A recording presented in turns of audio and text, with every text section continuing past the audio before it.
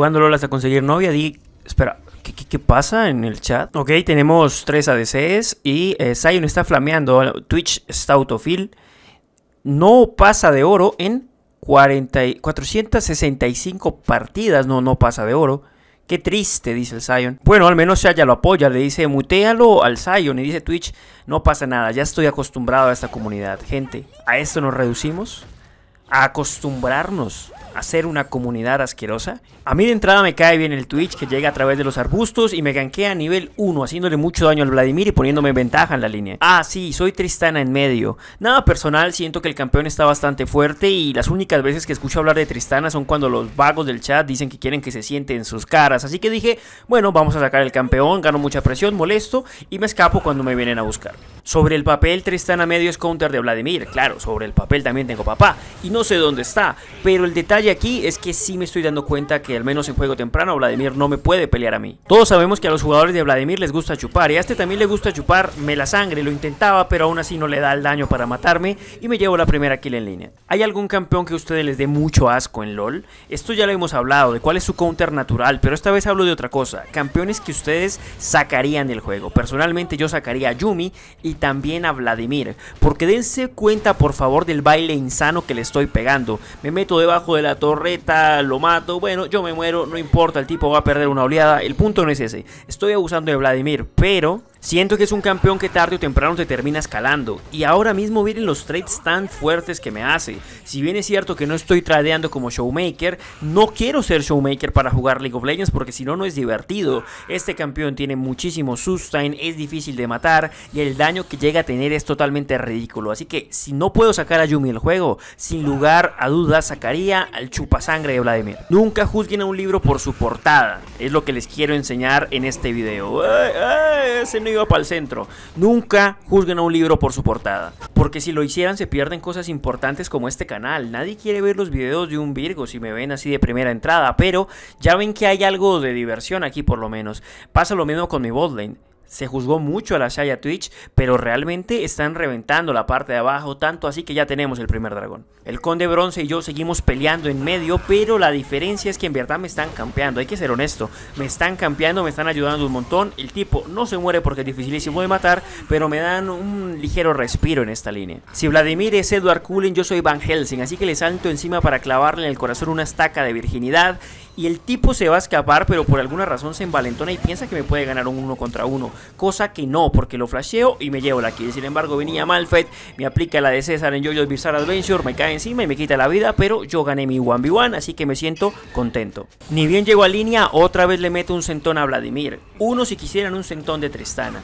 Y el tipo, bueno, ya se dan cuenta que en verdad está teniendo bastante fortaleza en mi contra. Conforme avanzan los minutos es menos rentable saltarle encima, darle un centón, porque me devuelve los intercambios. Acabo de llegar a línea y ya me tengo que ir. O decido quedarme, ¿no? Mejor me quedo. Creo que nada malo puede salir acá. A ver, yo creo que es casi imposible que por alguna razón llegue Kaisa y que cuando yo a ella la ultee, ella me ultee de vuelta y luego me tire todo el combo encima porque tengo menos cadenas que una tabla. La parte positiva es que llega mi bolding de doble tirador. Chef Empieza a cocinarles un ratapija a todos estos tipos que tiene enfrente y Shaya también se envalentona bastante para buscarlos con las plumas. Yo digo bot diff, pero ojo, ojo que no es flame, estoy diciendo que bot diff de mi parte, o sea que mi equipo es la bot diff. Ojo, esto no me vayan a funar, esto no es flameo mío. Igual mi filosofía de la vida es simple, si puedo dar un centón lo doy y luego me preocupo de las consecuencias. Así que sigo buscando un Vladimir que me mete el Ignite, me mete el ulti y se va a escapar una vez más. Insisto, este campeón es una porquería de matar, pero Viego ahora viene rotándose aquí queriendo buscarlo debajo de la torre. Sin embargo, el Vladimir es el más listo de la clase, me mete un flash y me termina matando. El Viego no puede hacer absolutamente nada en su contra, pero al menos pierde la torreta. Como dato curioso, y esto no es que lo investigué yo, esto me lo contaron las personas en el stream,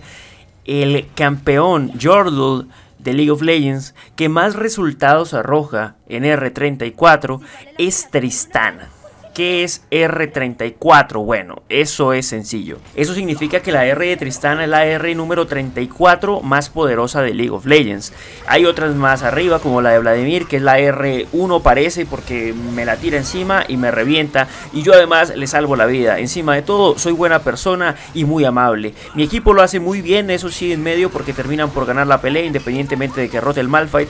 El Zion no lo hemos visto en toda la partida, el cabrón, salvo cuando pasó por medio, cuando iba para el centro, pero igual funcionan las cosas porque Diego y mi todopoderoso Twitch soporte lo están haciendo muy bien. Ya tengo Matacrakens en este momento y decido irme a presionar en una línea lateral, así puedo tener experiencia para mí solo, mientras mi botlane defiende medio, dos tiras más que uno, así que bueno, ellos van a defender mucho mejor que yo solo. Y mientras voy rotando me encuentro con la hija adoptiva de Casadín, que me mete todo un combo y luego sale corriendo, en verdad no sé por qué no me intentó matar, creo que me ganaba o creo que yo le ganaba, no estoy seguro, pero lo vamos a dejar así. Sin embargo, es una reverenda cagada dejar así nomás las cosas, porque no me gusta quedarme con la duda de qué hubiese pasado, sí.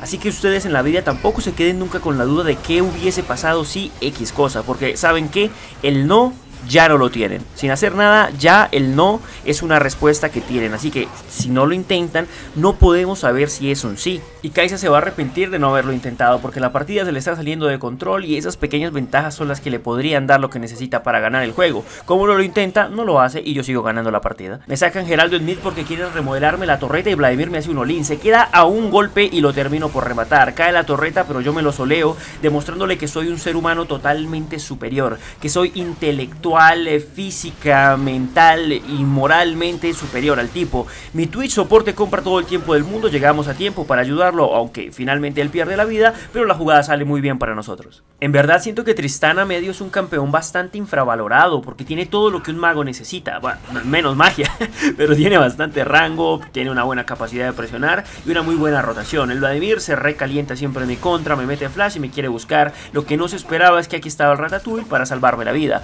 Un flash un poco, bueno, tryhard por parte de él, pero yo lo dejo jugar. Que, que mi dios Twitch soporte haga lo que quiera, que yo lo apoyo. Hay otras ventajas de tener varios tiradores en tu equipo, y es que por ejemplo sacar objetivos orgánicos es demasiado fácil. Entre una Tristana, una Shaya y un Viego, básicamente reventamos este varón y empezamos a presionar la partida. Ya, varón nace, varón nace. Y es bastante curioso que este lobby que empezó con tantos mierdazos, donde todo el mundo se odiaba al inicio, terminase reventando la partida, porque es que básicamente la estamos estompeando.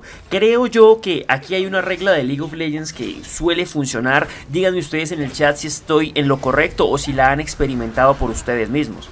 La Roquita Martínez mete un TP y posteriormente se tira para atrás escondido entre las sombras, usa un flash para hacer una chuza, pero no le sirve para un carajo porque todos nosotros tenemos bastante saltos, movilidad y el tipo simplemente se muere. Tenemos a Zion en la parte de adelante y no lo puede pasar ni Jesucristo, haciendo que esto signifique casi que un exterminio para nosotros. Por alguna razón, Velvet llevaba peleando media hora con el Twitch soporte en nuestra espalda. Déjenlo cocinar, déjenlo cocinar. Y la teoría de la que les quiero hablar es la siguiente.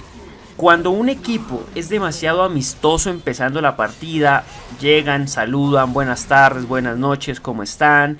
Eh, vamos a ganar, chicos. Eh, se avientan uno que otro chistecillo. El clásico chiste de, oye, Dagarrajo, me has tocado en tres partidas seguidas, jaja, todos nos reímos eso sale del culo. Es el peor equipo que te puede tocar y la probabilidad de ganar la partida es directamente proporcional a qué tanto hablaron en el chat. Malfed me quiere hacer la encerrona, pero lo que no sabe es que yo soy bueno saltando paredes y tengo experiencia escapando de las marchas que se hacían en Colombia hace algunos años. Así que uso mi W, tira la R más vegana de la historia de la humanidad y sin ningún problema le pego a la piña para saltar al otro lado de la pared y dejarlo como un payaso. Ahora, cuando el equipo entre y se empiezan a tirar cagada, pero ojo, esto depende. Tiene que ser un equipo que no se conozca. Hay veces entran tirándose cagada porque, no sé, el jungla me troleó la partida pasada. Eso también sale mal. Pero cuando no se conocen, no han jugado nunca, pero entran tirando mierda por los picks, por ejemplo, ay, este Twitch soporte, GG, Go Next, Karma medio. Ese equipo, ese equipo es un equipo ganador. Es un equipo que no juega para ser amigos, es un equipo ganador. Solo quiere sangre y puntos de liga, no hacer amistades, no entablar conversaciones y está dispuesto a pasar por cualquier ser humano con tal de conseguir